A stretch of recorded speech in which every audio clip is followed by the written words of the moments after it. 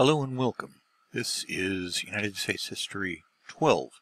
This is the first lecture in a series of lectures that will take us from the period of time from Reconstruction to the modern era.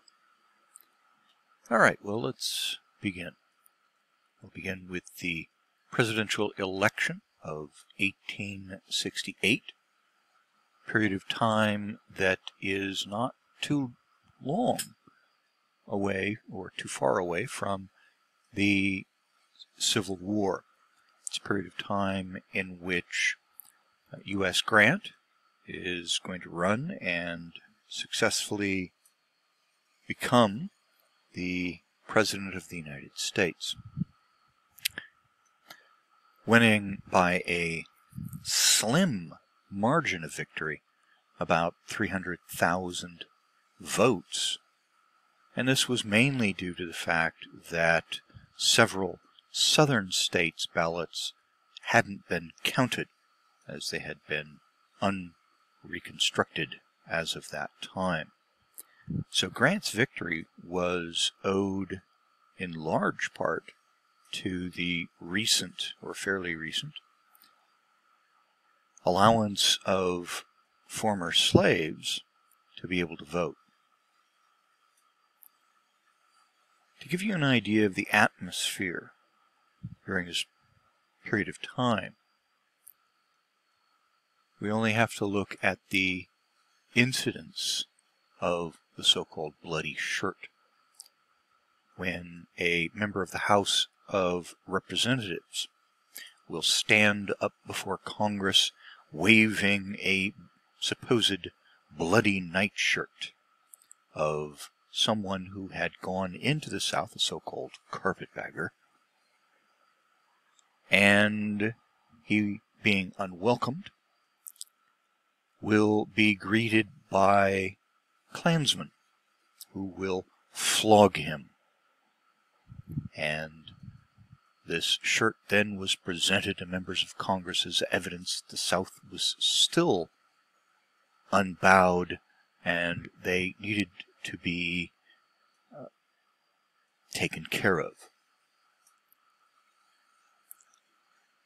But this is also the era of good stealings, with Grant's winning presidency, coming into office, things are good for lots of people. The era of good stealings is kind of a play on the earlier era in American history, the era of good feelings, which had taken place after another war in American history, War of 1812, in which America had been divided during that war as well. Some of the northern states had actually contemplated seceding from the Union. And at the end of the war,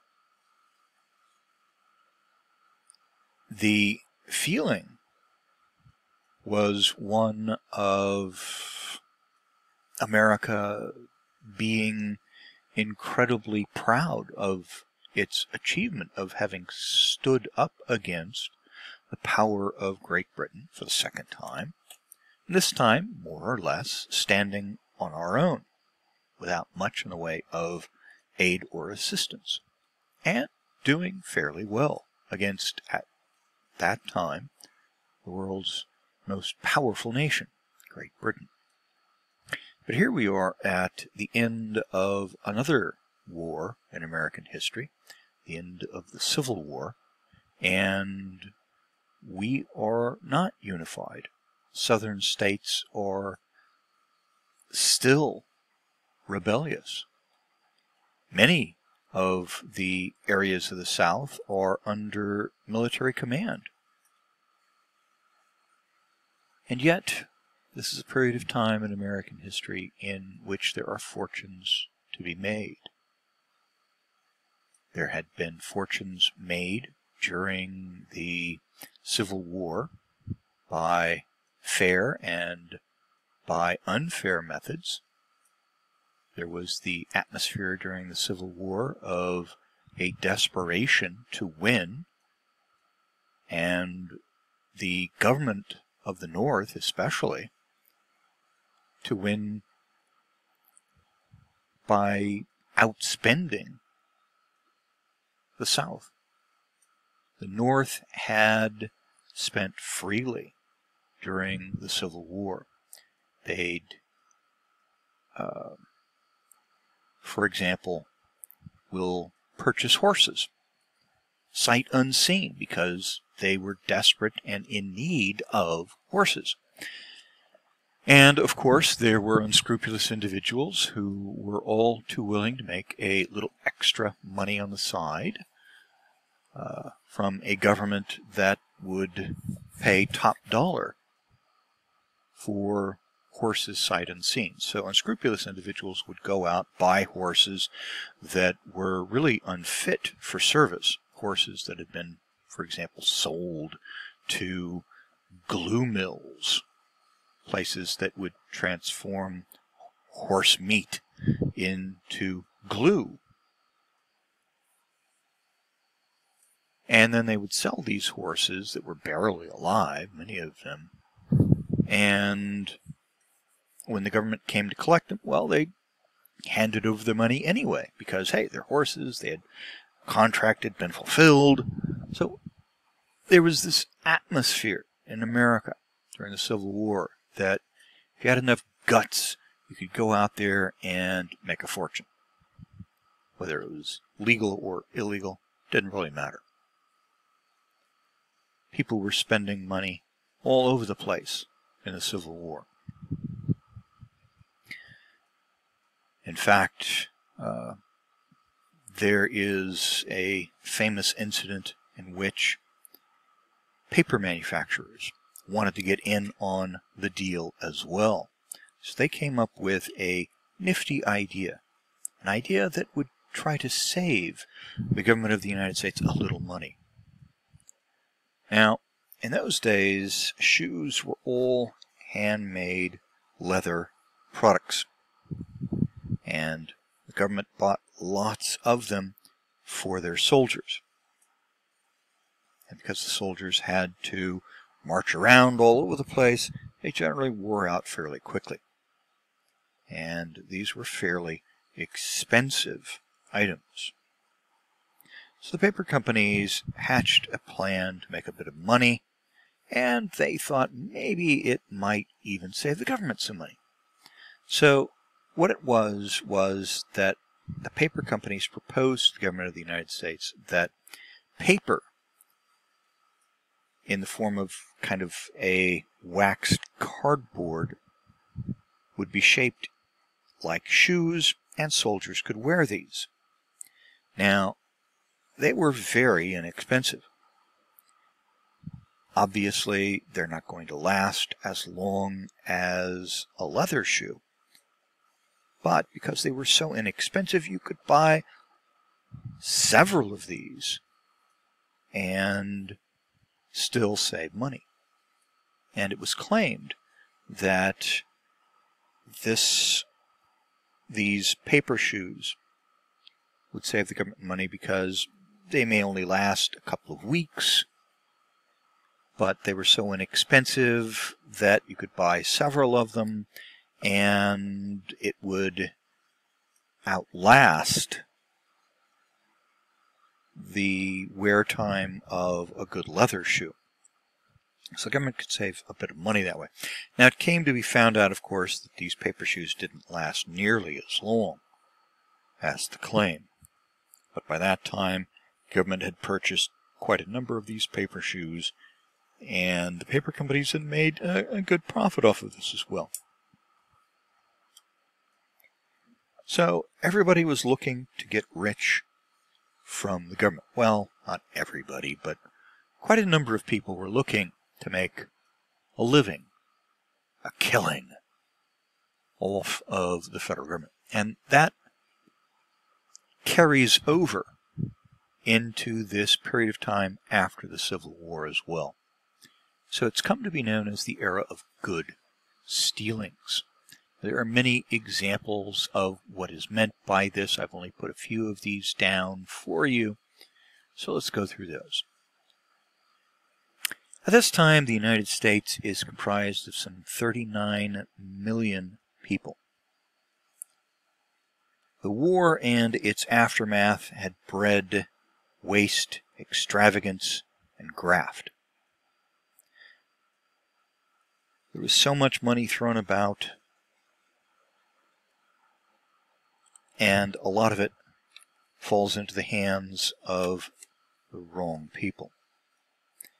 Definition for an honest politician at that time was one who, once they'd been bought, would stay bought.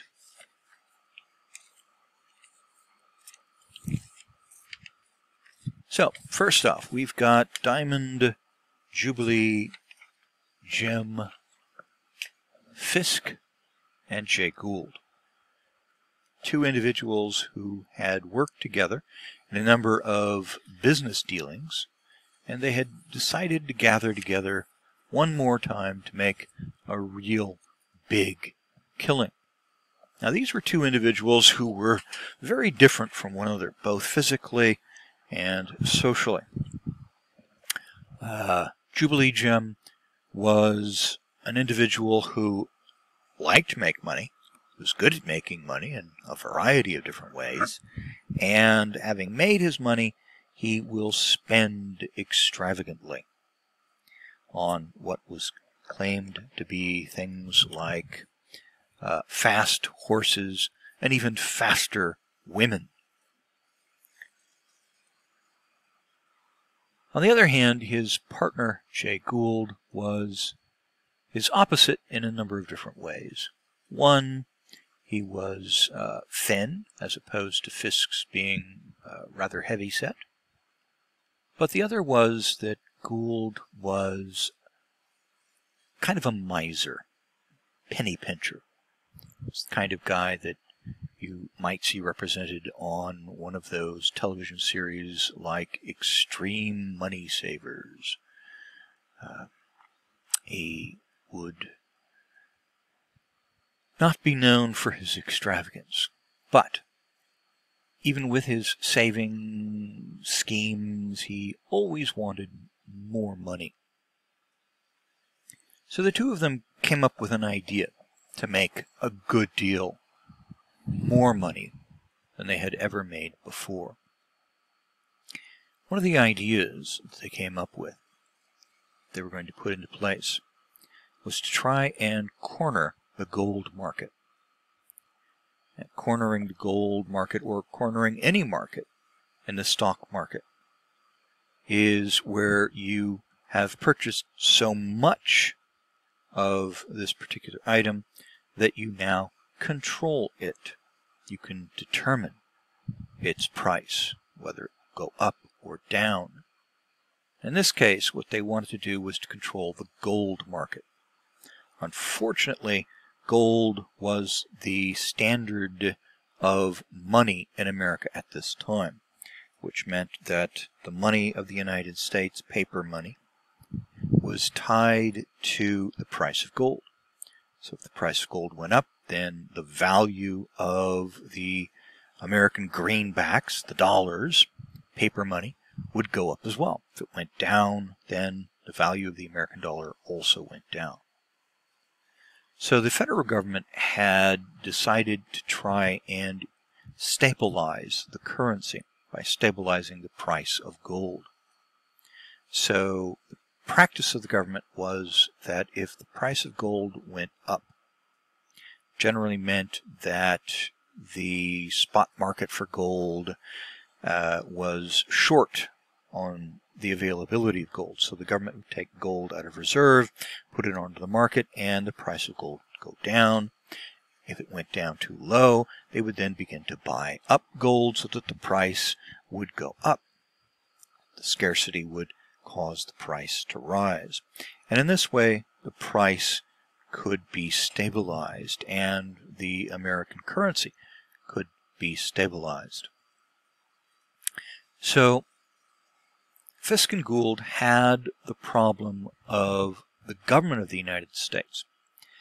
They couldn't quite corner the gold market and determine the price, making it rise dramatically and then selling off quickly and making a fortune because the government could step in and ensure that the price wasn't going to rise very quickly. But in those days, everybody knew that with a little bit of luck, a little bit of pluck, and some cash, the wheels of industry could be greased and you could get what you wanted done. And in this case, Fisk and Gould found an individual who claimed, at least, that he had the ability to speak to the President of the United States and present the idea of making money, not just for Fisk and Gould, but also to open up the marketplace for real marketeers, to allow the free and unfettered market of gold, which, of course, is going to be good for business. Now, of course, this individual was one of the President of the United States' brothers in law. Grant's background, his um, own personal history, is rather an interesting one. He had a number of different brothers in law whom he had a very close relationship with before he'd been president, before he'd gained notoriety in the Civil War as the commander of the Northern armies, general in charge, below, of course, the leadership of Lincoln. Grant had been in a number of business ventures with his brothers in law and he had come to trust them. So this brother-in-law of Grant's claimed to Gould and Fisk that he could convince his brother-in-law to accept the idea of allowing the gold market to be free and unfettered and allowing it to ride the horizon freely. And Fisk and Gould became good friends with this brother-in-law of Grant, to the point where they uh, went out to dinner together, and of course, hey, he didn't need to pay for dinner. These were rich gentlemen, and he was their friend. They'd go out to uh, the theater together, and eventually they will loan him a good deal of money as well. With, of course, the idea that this brother-in-law was going to help them in the future. So, eventually, uh, this brother-in-law will approach his uh, brother-in-law, the President of the United States, and present this idea of allowing the gold market to be unshackled, unchained, and allowing it to be free and open. The President said it was out of his hands, that this was something that Congress had authorized, and that he couldn't violate this without breaking the law. So there wasn't anything that he could do about it. At that point, Grant's brother-in-law was heartbroken. He knew that his good friends who had loaned him a lot of money were going to be disappointed. So disappointed that they were probably going to want their loaned money, loaned out at no interest, loaned out with the idea that, hey, it can be repaid when you repay it. We're good friends. But of course, with this devastating news, even he realized that it would be very likely that they would want their money back now. And of course, he'd already spent it, or at least most of it. So, what was he going to do? Should he go back to them, tell them the truth? He would be financially ruined. It would be a great scandal. Who knows what might happen to him? So instead, he went back to them and told them, yes, indeed, he had spoken to the president. Yes, indeed, the president had agreed with him that it was a good idea. And he then told a small fib, little lie, that the president would indeed allow the market to run free. So, Fisk and Gould now given assurance the market was going to be free and open, rubbed their hands together in glee and excitement and went off to buy up as much gold as they could. Meanwhile, the brother-in-law packed up his bags and sailed off to Europe, where Fisk and Gould would not be able to get hold of him. Meanwhile, Fisk and Gould are off buying their gold, expecting the price to go up, and it does. But not too long after that, the federal government will step in, insert more gold onto the market, and the price comes down. Fisk and Gould will sell off their shares of gold as quickly as they can at that point, realizing that they'd been lied to. So they really didn't lose a whole lot of money, but they certainly hadn't gained money. And so they were very disappointed, so disappointed that uh, they began to publicly exclaim against the president's brother-in-law, so much so that eventually the papers picked up on this. They printed these stories. Uh, there were rumors circulating around that the president had been in on the deal, that maybe he had violated the law, but the president hadn't.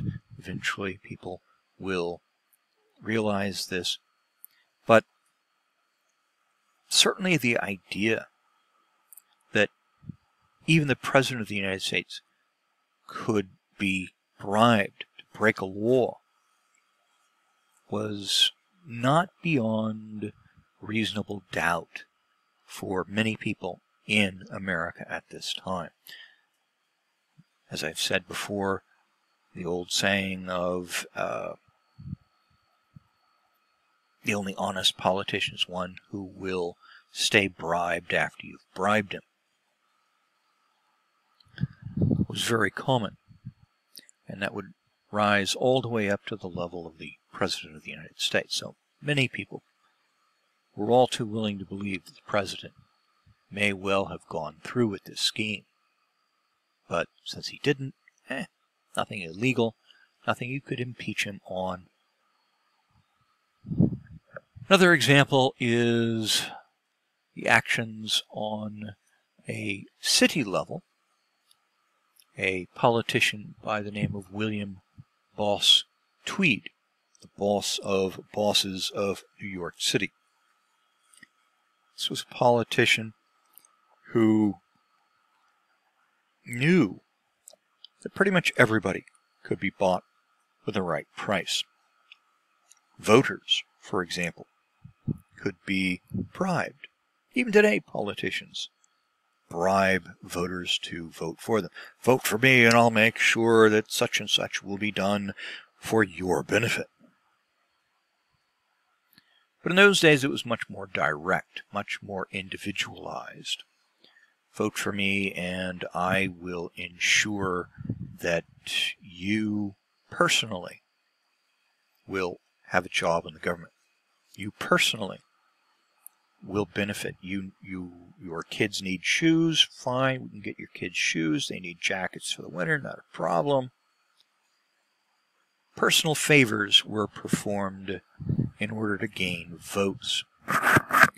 And this worked really, really well, especially in the poorer sections of the city where individuals were desperate and desperate people will take what's handed to them. If someone says, hey, vote for Joe Schmo, and once he's in, you're with us, and the sky's the limit. And these politicians were fairly straightforward in that. Once you'd voted for them, and in those days there was no secret ballot, they knew who you would vote for. And so they'd check, oh yeah, you did vote for Joe Schmo. Hey, you're with us. Not a problem. Come on in. The city's our oyster. Just reach in and steal all the pearls. So, Tweed was a guy who got the vote out. He'd send a lot of people out into the poorer districts, round up the vote, bribery if uh, necessary. Sometimes all it took was uh, a few drinks, sometimes a, a lunch, sometimes just a slap on the back, a smile, and sometimes a promise. Promise of a job, promise of something for your children, something that would help your family. Now, not everybody was happy with this, of course, because in order to pay off these bribes for votes and to reward the politicians who would be put into these positions so that they could gain more than just their salaries. Very often that meant that in the city government, projects would be handed over to people who would give kickbacks. People who would bid, say, um, $100,000 for the rights to uh, take all the garbage out of the city. Now, that would be generally more expensive than a competitive vote for that same contract that might have been bid at, say, $10,000. That extra money was then pocketed by Tweed and handed out, distributed to the various people who had uh, helped secure these votes. So everybody was getting a bit of cash from all of this. But not everybody was happy about it. Not everybody was being bribed in this way. The wealthy, middle class, by and large, weren't. And so newspapers began to publish stories about this graft and crime and corruption. And it was a great cry that went out to try and clean up government. Everyone was happy about this situation because the city government, having spent so lavishly on hiring many of these cronies of Tweed,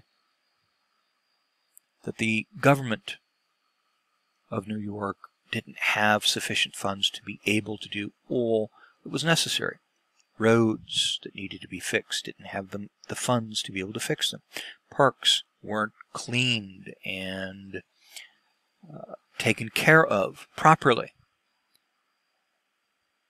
because they couldn't hire the numbers of people that they needed to do this. So certain parts of the city were becoming run down. But certainly many people were benefiting from this. Well, eventually, Tweed is arrested on charges of uh, corruption, and he is tried and convicted and sentenced.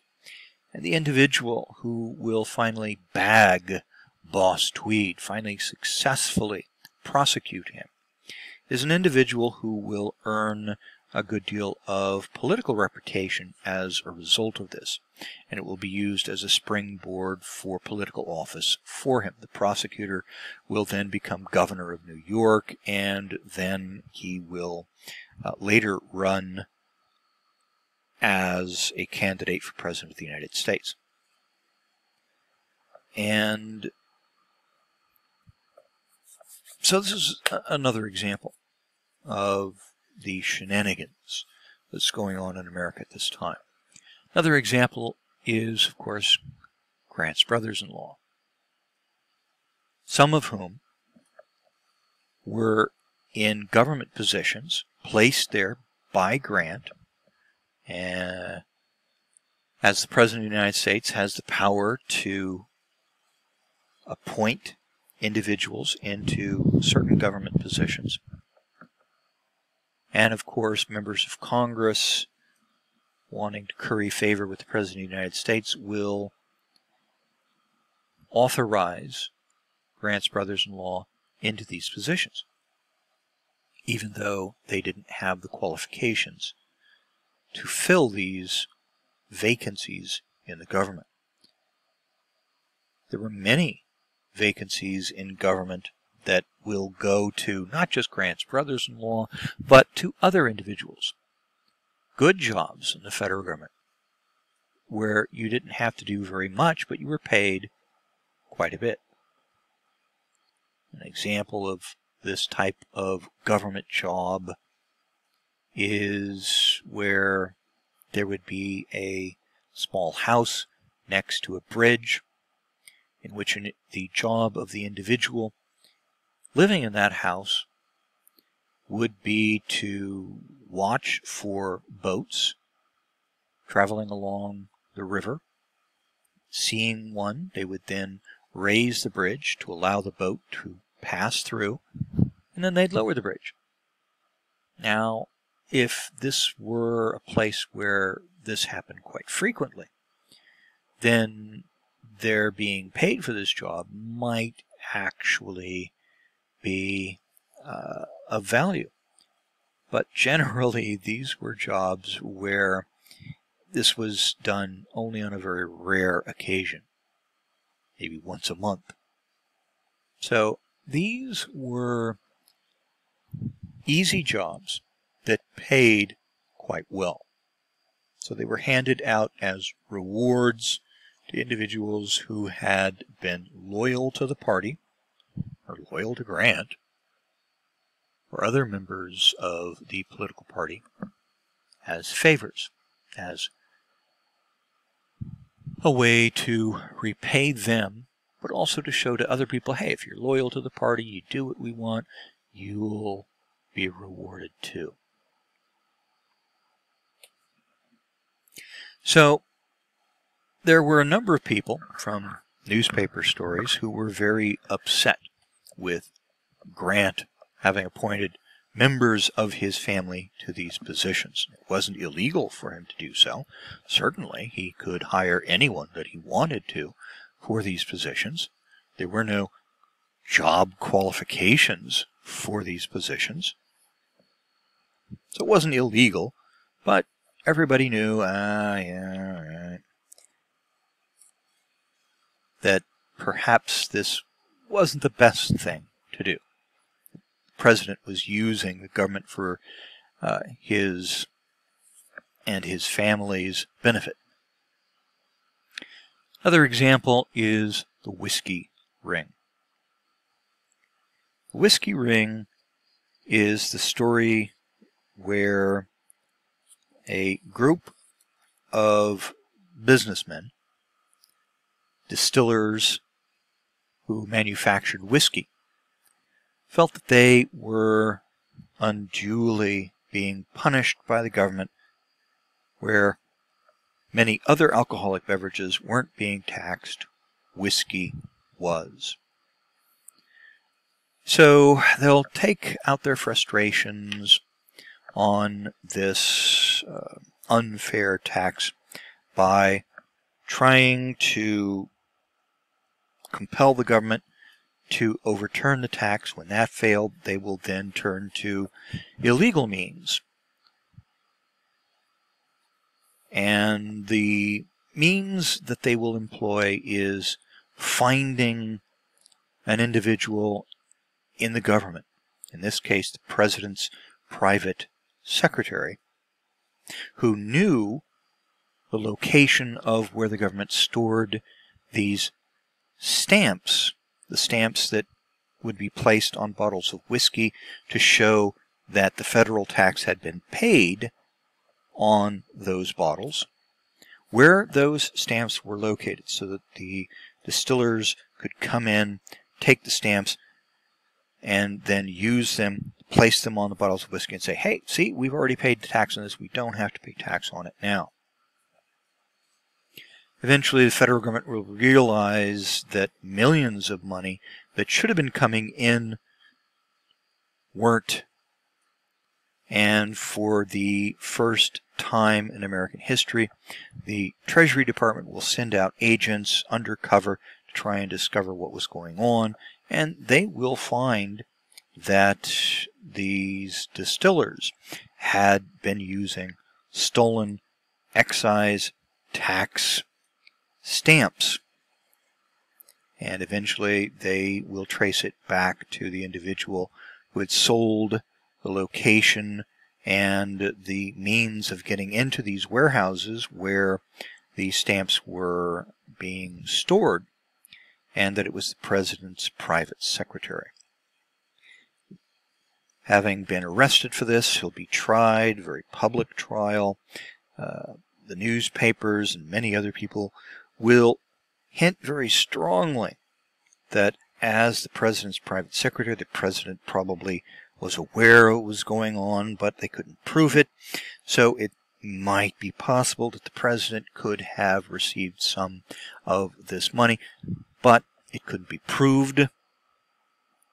And it's really unlikely that Grant took any kind of bribe to allow this to happen anyway. Grant wasn't above schemes, but legal schemes. They might skirt the law, but they wouldn't break the law.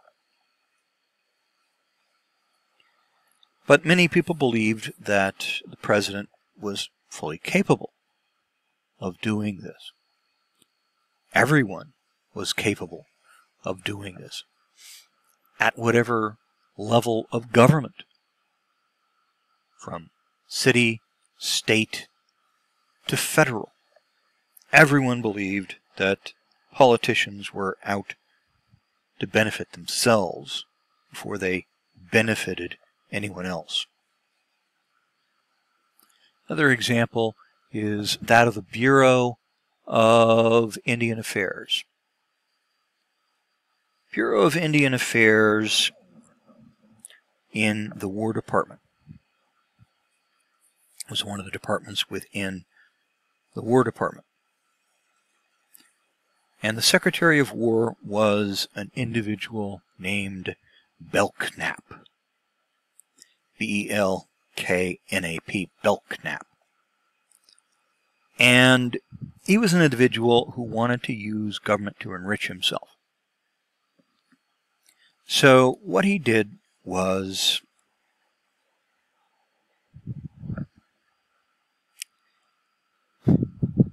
he will make money by selling contracts to private individuals to set up trading posts on Native American land. Now, these trading posts could be quite lucrative. Originally, they were set up, these trading posts were set up on Native American land because much of the Native American land was not the best. As a result, very often these Native Americans would be in need of a variety of different types of things that they themselves couldn't get from the land. So the government will set up these trading posts to allow Native Americans to trade various things that they could find on their land for things that they wouldn't be able to make themselves. Steel knives, things of that nature. uh, like a not just a um, like a department store. So many of these trading posts could be quite lucrative. People could get rich from them by, of course, cheating the Native Americans. So Belknap sold contracts to individuals who gave him kickbacks, who would give him money under the table. And eventually, of course, this was found out.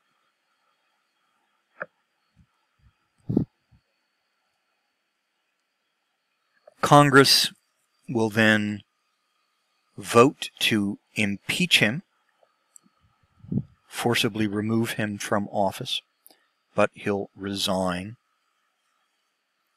and eventually face criminal charges for his actions as well. But again, it just goes to show that everyone, leaders, followers, no matter what position you held in government, you would try to use it for your own benefit. And of course, another example is that of the Credit Mobilier.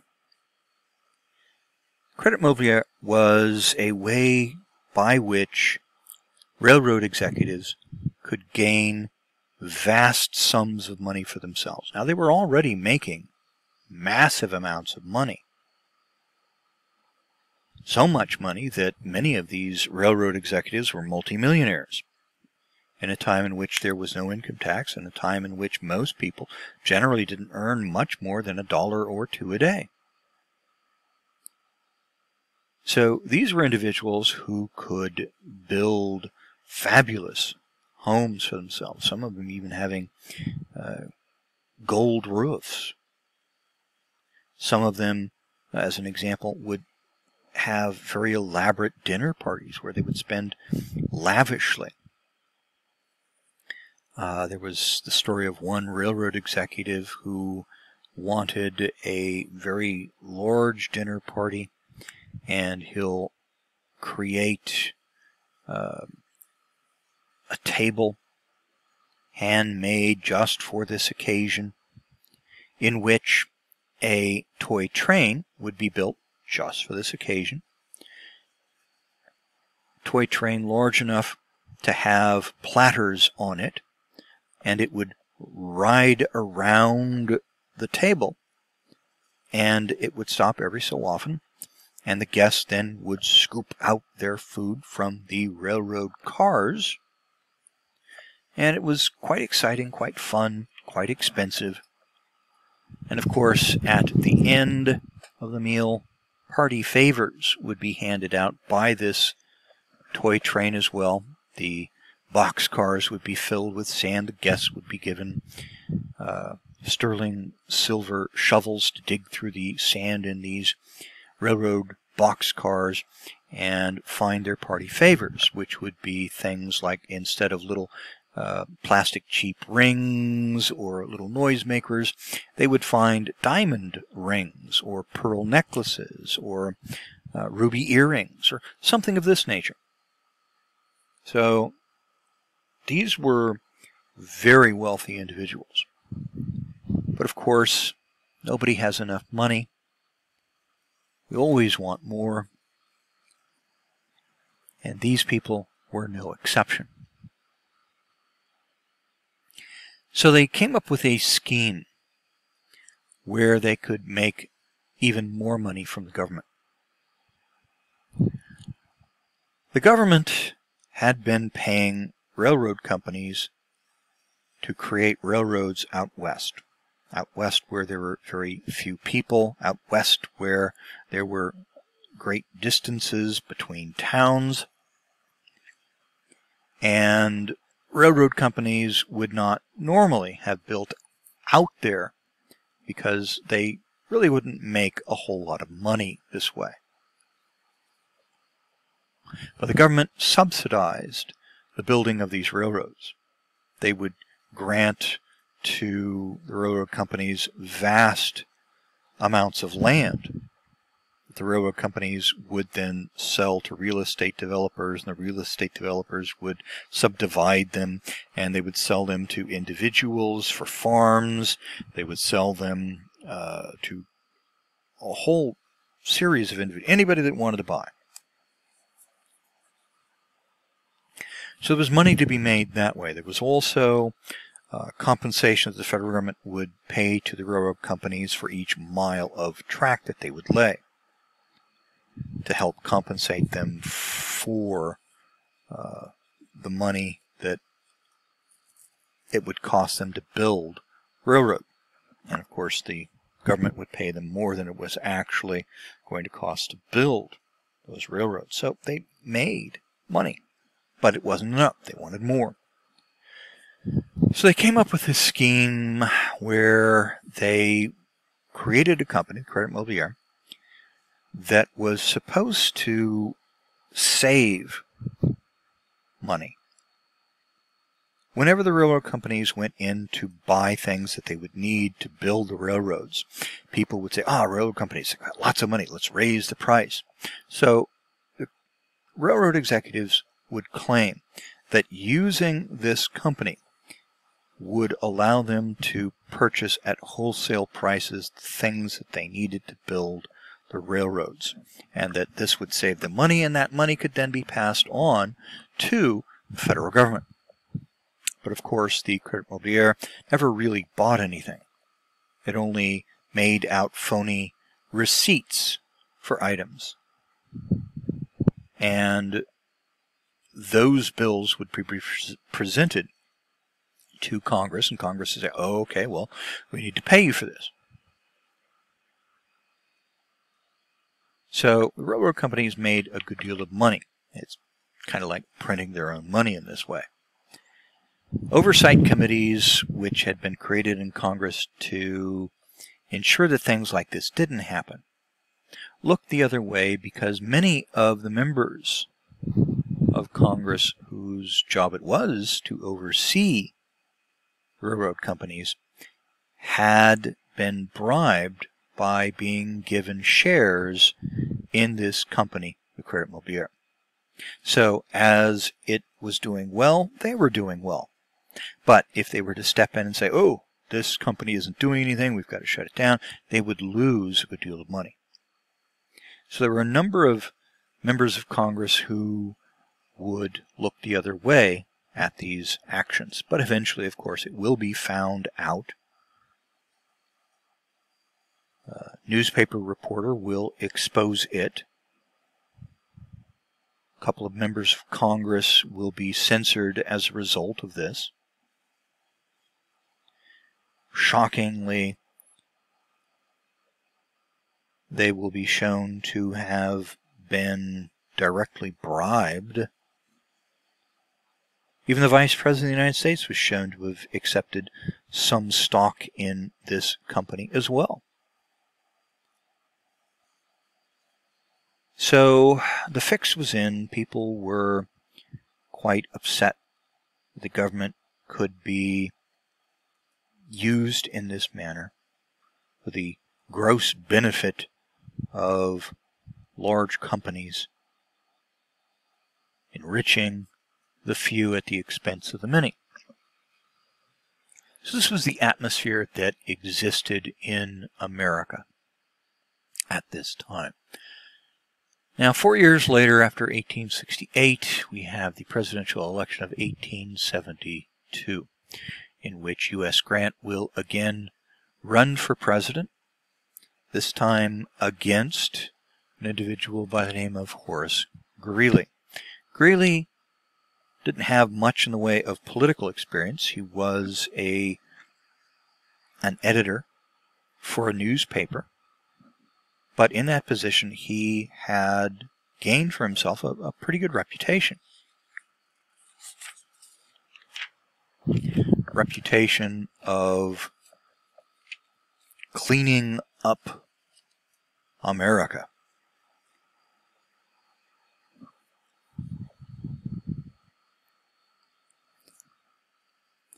Now, Grant supporters realized that Greeley was running against the last four years of Grant's presidency and all of the various different scandals that had taken place. And so they couldn't exactly run on the last four years. Instead, they're going to run a campaign of smearing Greeley. They will, for example, claim, and correctly so, that Greeley was an atheist at a time in which the vast majority of Americans were very religious. Certainly, they wouldn't want an atheist at that time as President of the United States who knows what such an individual would do. There's a great deal of, and this isn't, you know, my opinion, but they believed that an atheist had no morals, an individual who couldn't be trusted as a result. They also uh, were told that Greeley was one of those free lovers, a man who believed in sex without marriage. Good God, such a thing. They also proclaimed that Greeley was a vegetarian. And he probably was. To was vegetarian, nothing wrong with that today. But things have changed in 100 50 some odd years. And at that time, people believed that if you weren't a red blooded American who ate meat, you were weak willed. And we don't want a weak willed individual to be President of the United States. They have to be strong and stand before the winds of outrage from other governments.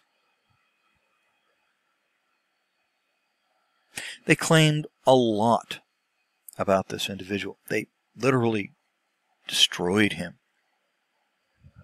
So much so that Grant will win by an even larger popular vote than he had in his first campaign, even though there were for all of these various different scandals. Sadly, with Greeley's defeat, his life will take a nosedive down, having been just beaten publicly, his whole life torn to shreds. Greeley will turn to drink to try and soothe his shattered nerves. He'll drink so much that he'll not be able to come into work. He'll lose his job as editor on the paper.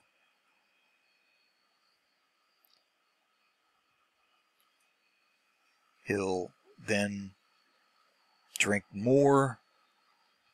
His wife will leave him. He'll drink more. His family will become so concerned over this that they will have him committed. And within a month, he'll be dead. So, unfortunately, that is a very, very sad ending to his life. And a number of individuals will be faced with this same kind of situation. But unlike Greeley, they will realize that they can come back from it. They can do better.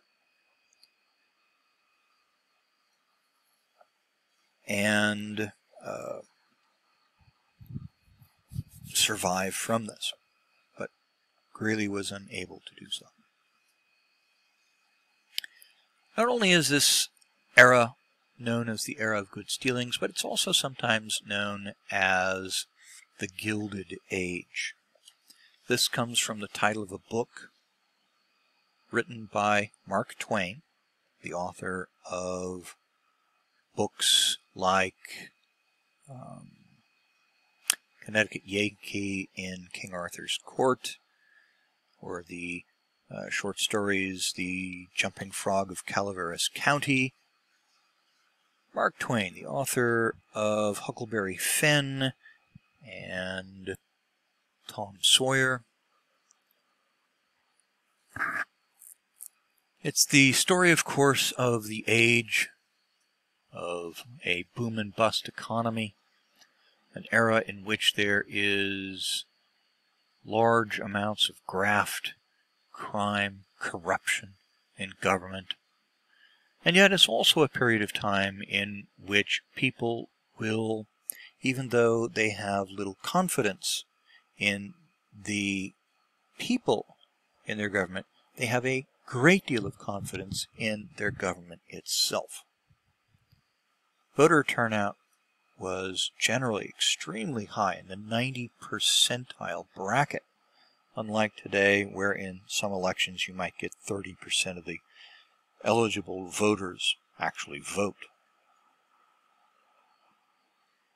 And at 30%, I'm not sure that even qualifies as, or below, I'm not sure if that qualifies as democracy any longer because you're having only a very small number of individuals determine what the laws are going to be that all the rest of us live out under.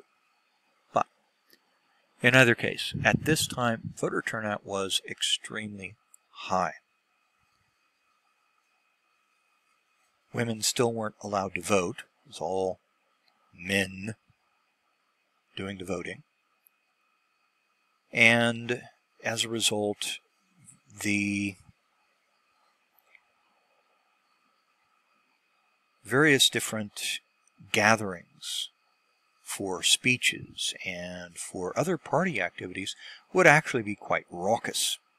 There would be free alcohol served, there would be bands, food, all kinds of things, and it would be a, a point of being a party, a celebration people were quite excited to go out and vote, go out and hear politicians speak.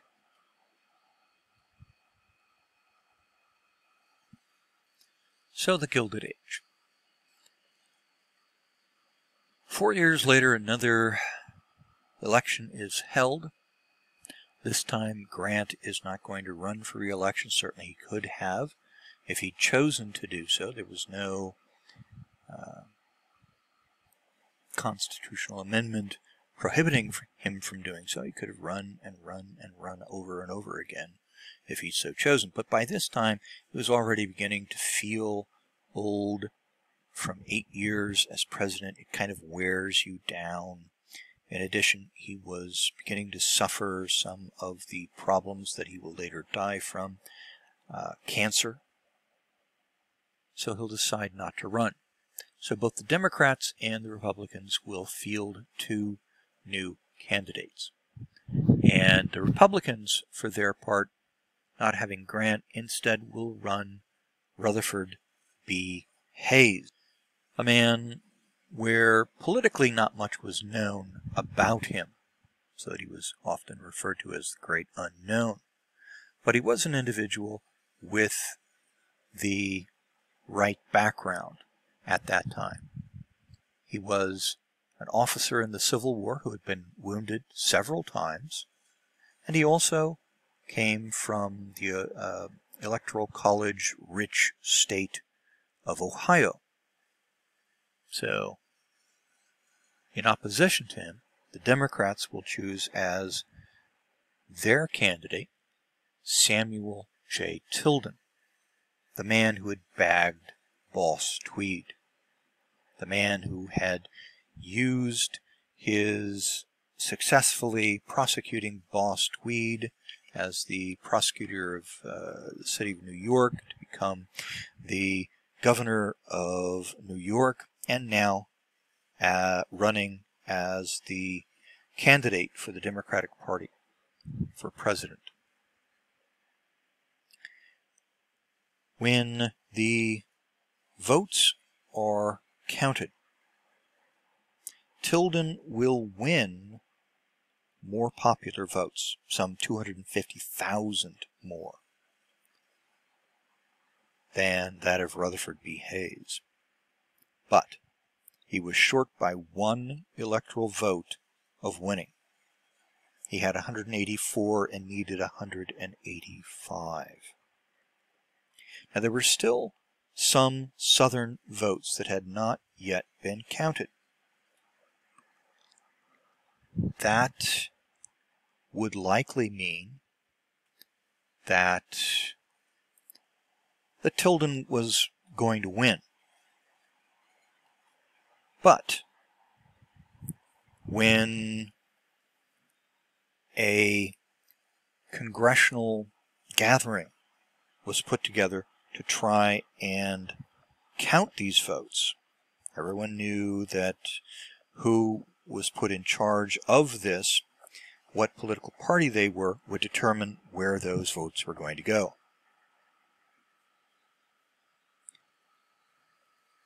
So the Republicans having a majority in Congress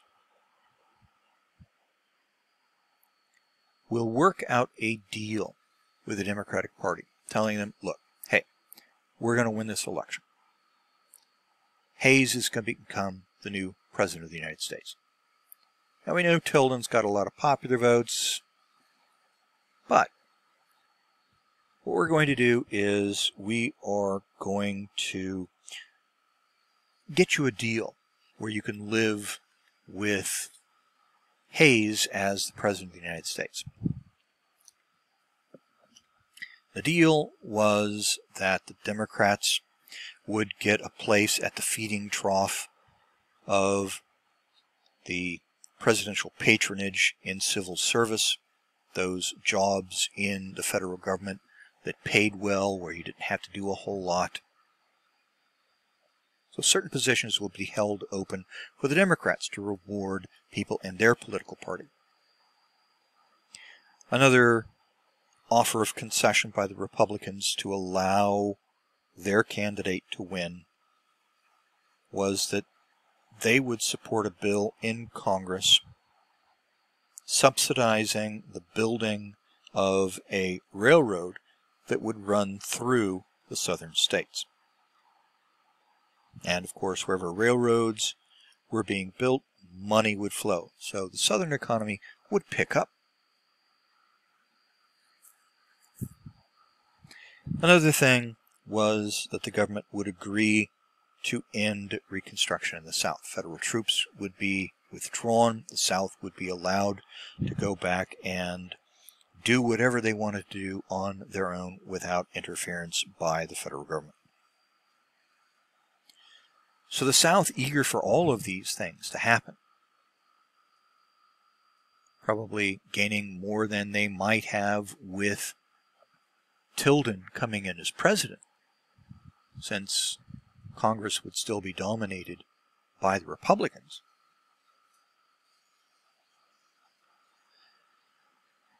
They decide to back Hayes as the new president of the United States. This is known as the Compromise of 1877. So, Tilden's out, even though he wins the popular vote, should have won the electoral vote as well, but Hayes is president. Now, when it came time to paying off the Democrats for Hayes becoming president. Only one of those concessions the Republicans had offered to the Democrats will actually be carried out. That, of course, is the withdrawal of federal troops from the South, the ending of Reconstruction. But that was enough. The South was satisfied. They could now do what they wanted to do in the South. Sadly, of course, this meant that uh, blacks in the South would be thrown under the bus, if you will. They would be left to at the mercies or lack of mercies of uh, southern governments. And the number of blacks in the South voting began to decline rather rapidly. So the presidency of Rutherford B. Hayes, some of the things that will occur during his presidency. One of which is that Hayes was a noted teetotaler. He didn't uh, like alcohol, didn't abide by it. And his wife, Lucy Hayes, will, during the various different gatherings, uh, parties, celebrations, etc., that will take place, will ensure that alcohol isn't served, and instead soft drinks like lemonade will be served instead. So eventually newspapers will pick up on this and begin to give to Lucy a nickname, Lemonade Lucy.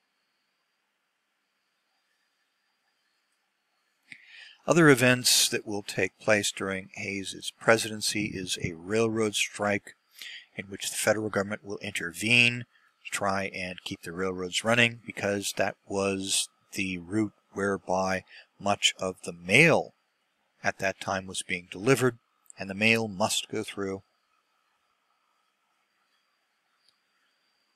Other things of interest during Hayes's presidency includes the events in California around the backlash of Chinese immigration. Originally, Chinese were brought in to work on the railroads,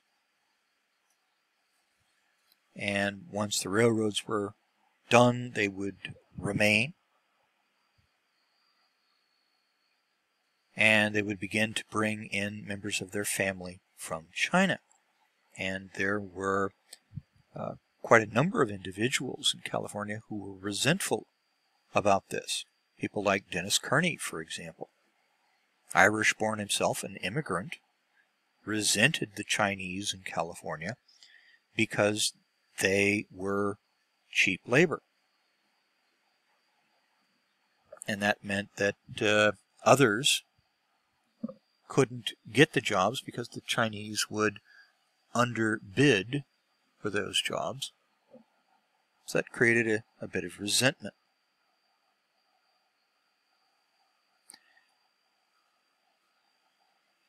So California will push through Congress legislation limiting the number of Chinese that would be allowed to immigrate into the United States. However, when it was presented to the desk of the President, Rutherford B. Hayes, he will veto it, claiming that this was an iniquity, that it was wrong to do this to just one group of people. And that's a good thing. I mean, Hayes stood up for his beliefs, stood up for what he believed in. But Four years later, of course, after he leaves office, it'll be passed again by California, and in 1882 it will become law. So he'll only delay it for a while. Other than that, there really isn't a whole lot of lasting consequence that will happen during Hayes' presidency. So, four years later, we've got another presidential election, and again, two new candidates. Hayes himself, having been stuck with the stigma of stealing the election of 1876, will decide not to run for re-election. And so again, two new candidates are presented. For the Democrats, they will choose as their candidate Winfield Hancock a Civil War veteran who had been wounded at Gettysburg. He had no real political experience. His only uh, experience was military. And recently he'd been a military governor in the South during Reconstruction. and uh, Southerners felt that he was uh, a good guy. He'd not overstepped his authority in the South when he'd been governor. For the Republicans, they'll choose James Garfield, man who will be presented to the voters as kind of Lincoln-esque, as Garfield had been born in a log cabin, not too dissimilar to that of Lincoln. Garfield had struggled up from poverty to become fairly wealthy. Mainly at first in his youth by driving mules, mules that were used to pull barges along canals. But his real claim to fame came when the Civil War had broken out. He had risen to become a major general. So he was a Civil War veteran, decorated, well respected, fairly wealthy. And of course, he came from Ohio, a place that was rich in electoral votes.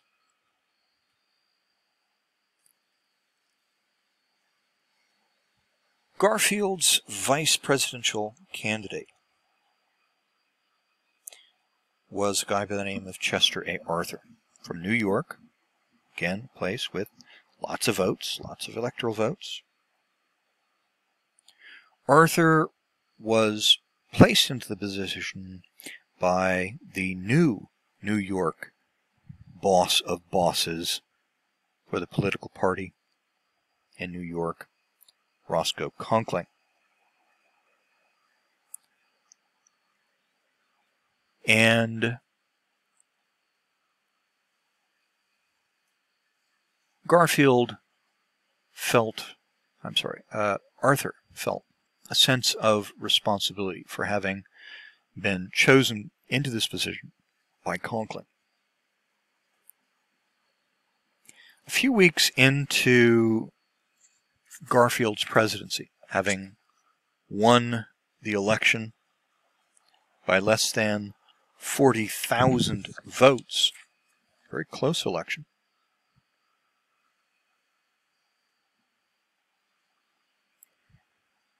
will be murdered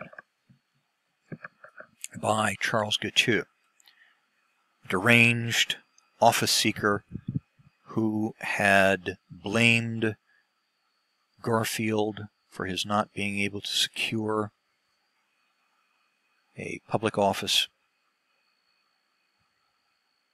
And with the death of Garfield, Chester A. Arthur becomes the new President of the United States. Now, Arthur had felt a sense of loyalty to Conkling previously, as he'd been appointed into this position as vice president by Conkling. But now that he was president, now that he had become president, not by virtue of the getting out the vote by Conkling, but rather by divine intervention. Arthur felt that he owed no one but God for his position. And so he will break with Conkling. Break with Conkling to the point where there will be near open warfare between the two of them. So there was a good deal of uh, acrimony between them. So it's not terribly surprising that in the 1884 election, Arthur will not stand for re-election, and a new candidate will be presented in his place. We'll have, for the Republicans, James G. Blaine, a individual who had uh, some political experience, but most of it came from his being a lawyer who worked for the railroad company and who had gained a good deal of money as a result of this. Now, working for the railroad company, most people believed that Blaine was an individual who was not above illegalities. And in fact, when some of his private letters were made public, they read as if Blaine was indeed trying to do a number of rather shady deals. Certainly, at the end of these various different letters, there would be the phrase, and make sure that you burn this letter afterwards.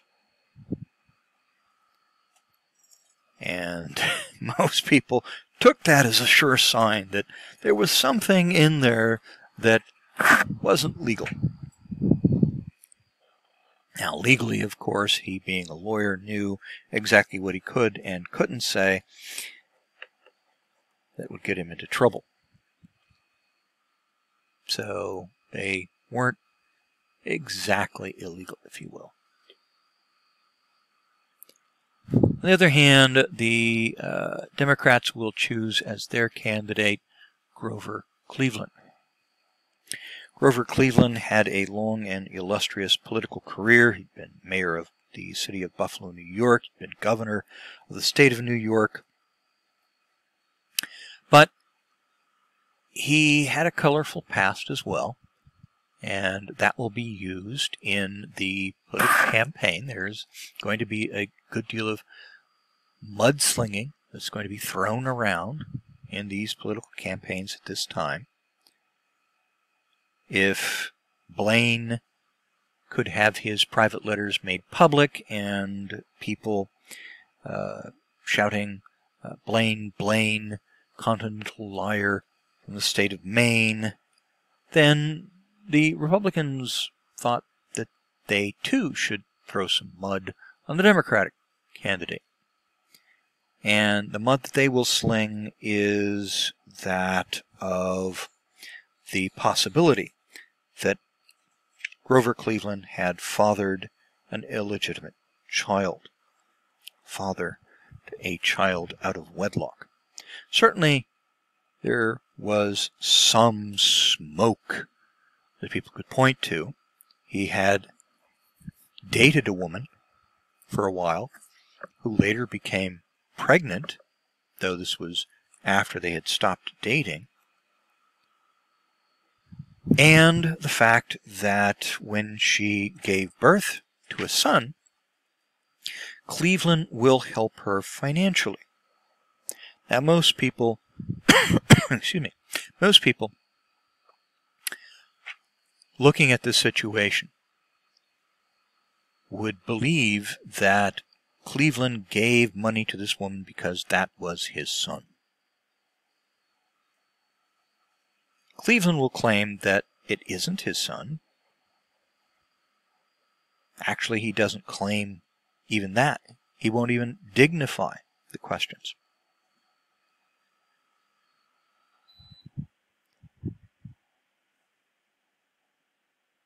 But he will assume full responsibility for the boy, financially, though he won't claim that he was the father of the child. In those days, this lack of morals was something that turned people's heads. But won't be enough for him to lose the election, and he'll win, become President of the United States.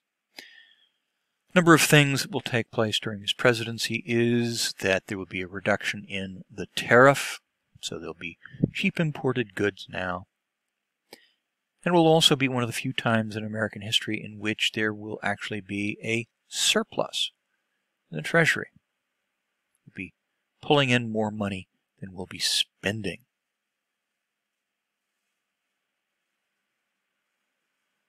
Well, I think we'll cut this video at this point. It's going on a bit long. Um, YouTube has a tendency to get a bit finicky if videos are too overly long. So we'll pick up from that point on.